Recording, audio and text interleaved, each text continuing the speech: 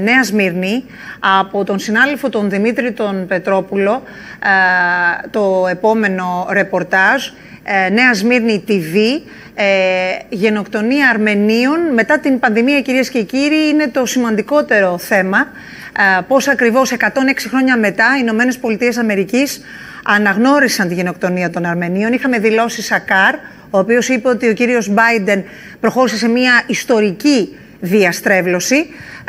Ε, υπάρχει πολύ μεγάλη αναταραχή στην Τουρκία σε σχέση με την αναγνώριση από τις Ηνωμένες Πολιτείες.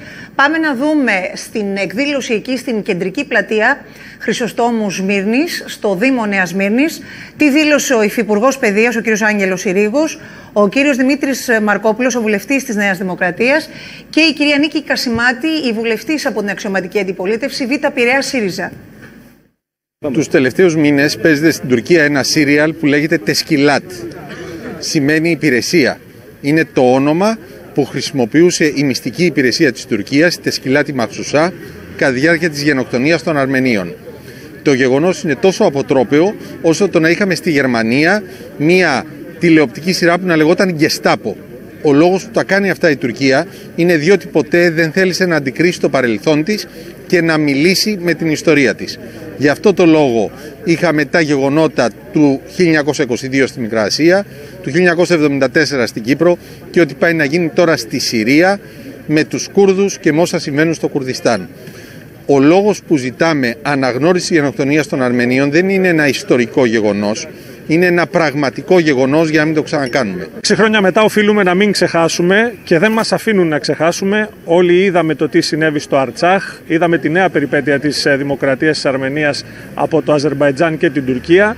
Είμαστε εδώ σε μια ημέρα μνήμης, αλλά και σε μια ημέρα που κοιτάζει προς το μέλλον. Ένα μέλλον που όλοι θέλουμε να είναι ειρηνικό για τους λαούς του Καυκάσου, ειρηνικό για όλους τους λαούς και της Ανατολικής Μεσογείου.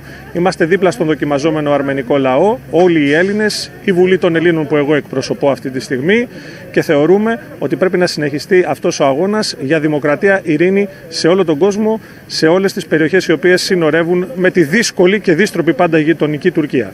106 ε, χρόνια σήμερα από τη γενοκτονία των Αρμενίων από την Τουρκία και ο αρμενικός λαός με την ευρύτατη αναγνώριση που επιτυγχάνει της γενοκτονίας αποδεικνύει ότι είναι υποκείμενο της ιστορίας.